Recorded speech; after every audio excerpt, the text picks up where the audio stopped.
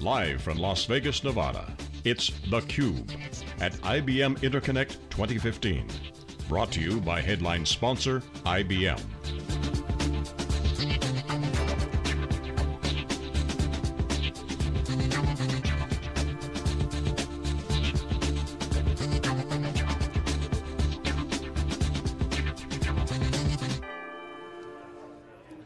Okay, welcome back everyone. You're watching theCUBE live in Las Vegas for a special presentation for IBM Interconnect. This is our day two wrap up. I'm John Furrier, the founder of SiliconANGLE. My co-host, Dave Vellante, co-founder of Wikibon Research. I'm excited to have special guests for our wrap up no other than the Ray Wang. I think you're number two on the leaderboard right now. Last time I checked um, here in the social media lounge. Welcome back to theCUBE, great to see you. Hey, thanks, I didn't even know I was on the list. you're just always influential. Um, but you are, you've been covering analysts, always have all the, the inside baseball, they've been following the industry. You certainly are a road warrior like us. We always see each other.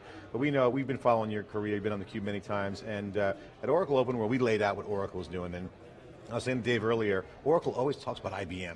Of all the vendors, that's the consistent company Oracle always talks about. And I, IBM is looking good, right? The System Z, engineering system, mainframe, bunch of other stuff, now a cloud focus. So you're seeing IBM marching on the vectors that we've seen before, more meats coming on the bone. But what's your take this year? The new show wrapped up in one, all these three shows coming into one. Are they doing it right with the show? Could it be better? What's the focus? What are you hearing on the ground from the presentations? Just what's your take so far? So we looked at it from a couple angles, right? The concept of the show is great, right? Developers, builders, infrastructure, all the ecosystem. I mean, that's what the show's really been about. Doesn't matter if it's mobile or cloud or if it's digital transformation. So, so I think they got that part right. I think the challenge is where do you put 21,000 people, right? We're like shuttling back and forth, you know, like 20 minute ride over here, 20 minute ride over here, and I think that's the harder part, right? But I think when the Mandalay Bay gets built out, that thing that's going on back there with the construction, they'll be able to get to 21,000. Now, the interesting thing is when you talk to the people that are here, they're excited. Folks want to build, right? They're ready to move. Um, but I think the piece that's missing is they need to know what the business strategy. What, what is that story? Like, what are we building towards? Why are we building? What is this transformation? It's not just the enablement. It's not just putting it in the cloud. It's not just you know making things collaborative. So yeah. So I got to ask you. So when you look at companies that are in transition, you look for things teasing out the data, saying, hmm, is it what's is it real there? And some companies just put lipstick on the pig and saying we're, we we're, we got it. IBM seems to have real deep stuff going on. Can you share your perspective, where they're strong, where they're weak, where they need work to be done? Because clearly they're marching down the cloud. It's just all about the cloud. At the end of the day, big data is part of it, so is Internet of Things, you're seeing that on the radar, but this is the cloud. The engine of innovation is the cloud, standing stuff up. What's your take? You know, they're betting on the cloud. This is the direct to developer model right? This is what it's all about. How do we get directly to the folks that actually matter? Um, but on the other hand, we're seeing some interesting things. I'm think I'm I'm like right at the edge of NDA, but they've been hiring all these external folks in. And one of the things they don't remember, I sat down with the chief digital officer, Kevin Egan today, right? There's a chief digital officer trying to figure out how to reinvent IBM on the inside so that they can serve developers, they can serve customers better, right? There's a new chief innovation officer. So they're bringing a lot of talent in, so there's a talent change, right? So we're seeing the transformation culture. Now the other piece that's also changing is, if you look at their models in terms of what they're really building, they're going after all the high-end, high transaction data sources. So you saw the you know, you saw the partnership announcement that was going on with Juniper. Let's get in at the network level. We've seen the Twitter partnership, the LinkedIn partnership. Apple. Apple partnership. So they're focused on alliances. This is not go it alone IBM. This is let's go build an ecosystem, let's go find people that get enterprise, and let's work with them. Can there be an inside out enterprise? That's essentially what's happening. You're seeing the, the openness, the community model, not just with open source, direct to developers, I totally agree with you by the way, but like on the business side, talk about startups, we're talking about startups here, there's partnerships going on, the open marketplace in the cloud. Is that an inside out reinvention? Are they talking about that? What's the key things that they talk about relative to that? Well, there's still passion around the developers, right? They know that's core, they know they got to work with startups. You saw the startup program that's being built out, you know, they're building the ecosystem, they still have the startup contest. I think that's important. Um, can you build it inside out? I think what they're trying to do is, this is the same transition Gerstner was going through um, during that period. It's going to take them three years to pull out of this, but you know what, on the other side, it's going to be pretty. Are you impressed with what they're doing internally? Um, I think there's still a lot of work to do. I'd say I'd be impressed in the fact that they made the hard cuts right? They've trimmed out a lot of the fat. They did the reorganization around the cloud. They have the reorganization around the Watson Group. I mean, all these things are really designed to say, look, the future of software is not the software we remember. We're not buying an on-prem box, right? We're delivering everything in the cloud, and you know what? People are buying outcomes, right? They're not buying products. They're not even buying services. So let's quantify this a little bit. Can we do that? Like, so we're talking about a, IBM with about a $25 billion business in these strategic areas, cloud, mobile, analytics, um, and, and, about a $70 billion business in everything else.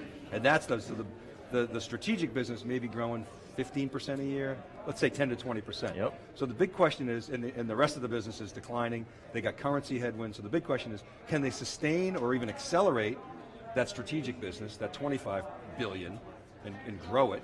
And can it offset the, the decline? Definitely on 75 billion. We, right, we've seen this this before. I, I, I actually, I, you know, you mentioned the, the Gerstner. I actually think they're in better shape than they maybe were before. Yes. I think they're, they're, there's more clarity now, but you know, can they do it? Can they pull it off? You know, so here's the interesting thing. That 25 billion has to be growing at about a 40 to 50% rate for them to make that number in three years. Yeah. But it's the partnerships that are going to help them accelerate that. So all these partnerships they're doing are 12 to 24 month bets. These aren't going to happen right away. Right. But if they get them right and they're focused, they're in place for that part of the business. Can they differentiate? I mean, take the Apple partnership, for example. They talk about a lot. They talk about unique apps in the, in the enterprise. Can other people copy that? Um, can, you know, SAP, remember McDermott a couple years ago at uh, Sapphires? Told the story about how Steve Jobs called him. This was years ago. Yeah, I made that order for how many iPads? Right, right. 20,000 Exactly. What are you doing? We're not, we're not about the enterprise. So my, my, my question to you is, do you think they can sustain that competitive advantage? Is there a competitive advantage there? I think there is because I think other people woke up wondering why in the world IBM got that business to do the enterprise base on the Apple. It comes down to this. Apple really doesn't seem like they want to be in the enterprise business, but the iPad numbers are dropping like crazy on the consumer side long term because the iPhones are getting bigger. The only place that iPad growth is what? The enterprise. And Great. I got to get your take on the big data piece because when, when we were at uh, Big Data SVR event last week in um, Silicon Valley, Hadoop World was going on, Strata, Hadoop, um, and uh, Cloudera announced $100 million, unaudited numbers, almost half services, some are speculating.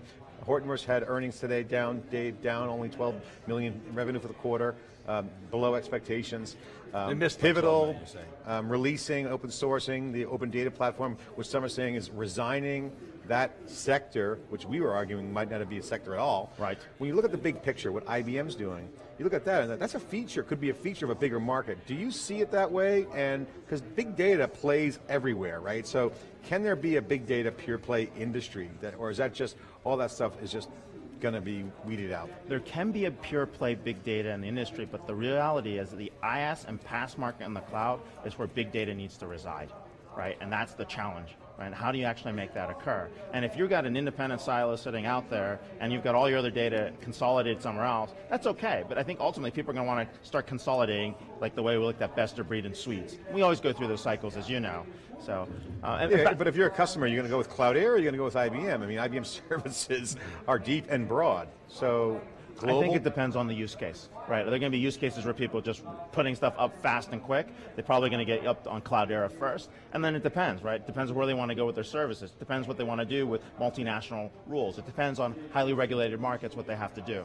Right, so I think there's room for both, but I see the aggregation as always one. I mean, you look at Oracle; that's what they've done really well. They've aggregated services, one-stop shop. You know, IBM's in the same spot. They've aggregated services, one-stop shop, and look at their pricing models. They're based on what you bought last year.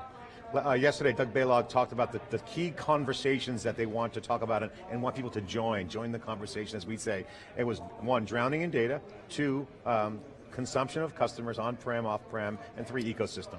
So drowning in data, I got to ask you, data lake or data ocean? What's a better metaphor for the future? I think you're right. It's data ocean. That data lake is way too small. And like we talked about data lakes becoming data swamps, those data oceans are now super fun sites.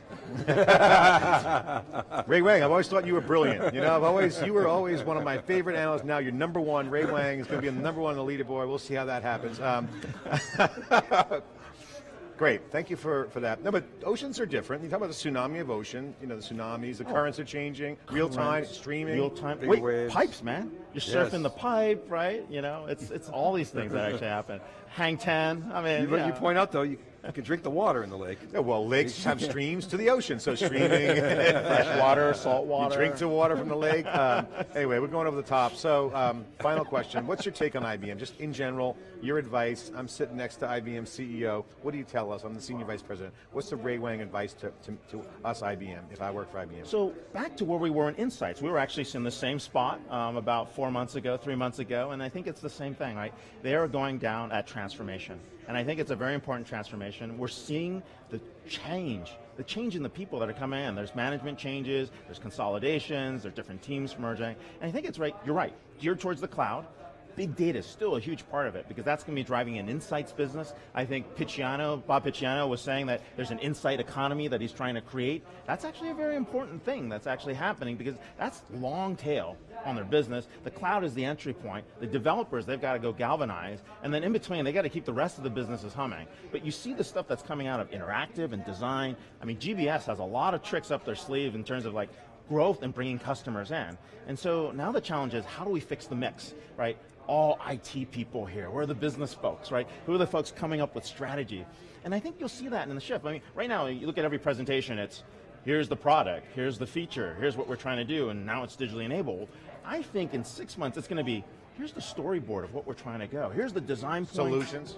It's solution selling, it's talking about journeys, it's taking the design thinking, bringing it up front, buy the experience, buy the outcome, I think that's what we're, he- we're Okay, headed. so I like their whole systems of record. I buy that old school batch model of inside the data warehouse. Systems of engagement, very, very awesome messaging. Love that's an open green field. Oracle's going for it. But what's this new thing? Systems of insight.